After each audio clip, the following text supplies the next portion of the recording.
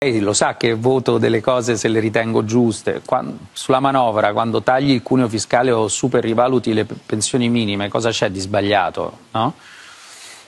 Tuttavia eh, il problema è che poi non, non, riescono a fare niente, cioè non riescono a mettere a posto la sanità, la scuola, il liceo del Made in Italy che è scomparso. Sulla politica industriale stanno all'anno zero e noi abbiamo 18 trimestri di decrescita di, di, produzione industriale. Il problema dell'Italia poi è sempre lo stesso, noi facciamo una grande caos di discussione, di, di, di commenti di cronaca, però quello che non succede veramente da 30 anni è che si metta mano ai meccanismi di efficienza.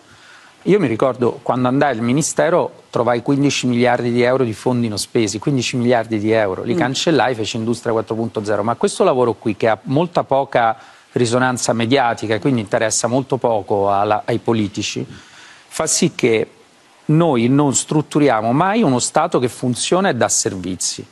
Quello che facciamo ogni manovra economica decidiamo come dare quei pochi soldini che abbiamo e possiamo mettere insieme sapendo che fra quattro anni le pensioni non riusciamo più a pagarle se non ci mettiamo dei soldi dalla finanza pubblica, che la sanità va a pezzi. Non riusciamo a risolvere, è come se fosse un paese sonnambulo cioè che, dove la politica rinuncia a risolvere questioni e quello che fa è dice allora dedichiamoci a questo.